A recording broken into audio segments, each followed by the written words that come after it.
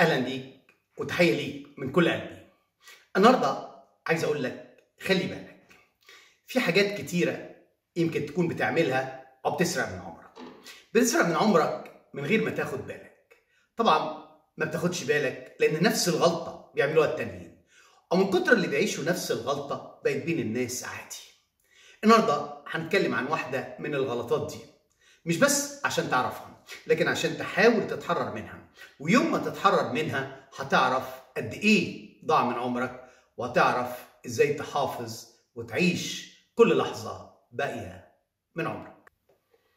لو أنت أب وقاعد مع أولادك وفي لحظة سرحت وفضلت تفكر في شغلك عادي. أنت شايف أنك مش بتعمل أي حاجة غلط لكن الحقيقة أنه سرق منك جزء من عمرك لأنك في الوقت ده لا قعدت مع أولادك ولا حتى أنجزت شغلك.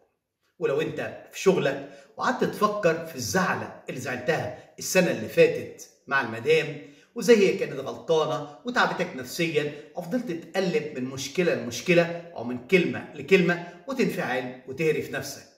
لا أنت اشتغلت كويس ولا أنت حليت مشكلتك مع المدام. واتسرق منك الوقت. ولو أنت أم وخارجة مع العيلة في فسحة وسرحتي هتطبخي إيه بكرة؟ ولا سرحتي في أيام زمان لما كنت طفلة وبتتفسحي مع بابا وماما وجده. لا انت عرفتي ترجعي الماضي ولا انت اتفسحتي وفرحتي ولادك واتسرقت منك اللحظه ولو انت تلميذ وقعدت تذاكر وابتديت تسرح هتعمل إيه في ال weekend؟ واحسن لو تخرج مع اصحابك ولا مع العيلة؟ واحسن لو تقنعهم يروحوا سينما بدل ما يقعدوا على الكافيه زي الأسبوع اللي فات؟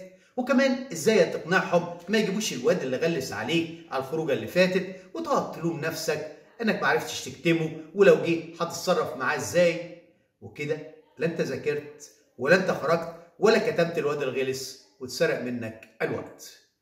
طيب ولو جه الويك إند وانت مع اصحابك في السينما وسمحت لعقلك في لحظة يفكر في الواجب اللي لسه ما اتعملش والأستاذ فلان أبو دم تقيل اللي هيهزقك ويحرق دمك. لا انت عملت الواجب ولا اندمجت مع أصحابك وبقى لا في واجب ولا في فيلم واتسرقت. اللحظه ودلوقتي عايز أقول لك حاجة. حاجة تبان بسيطة لكن هيبقى لها تأثير كبير في حياتك. عشان تعيش حياة فيها إنجاز وليها طعم اتعود تفصل ما بين الحاجات وبعضها. ما تسيبش الحاجات تسيح وتتلخبط. ساعتها لا هتنجز دي ولا هتنجز دي. لا هتعيش اللحظة دي ولا دي. بتذاكر ركز في مذاكرتك. بتتفسح ركز واستمتع بفسحتك. بتشتغل ركز دلوقتي في شغلك. بتفكر في حل المشكلة ركز فيها. ما تفكرش في المشاكل التانية.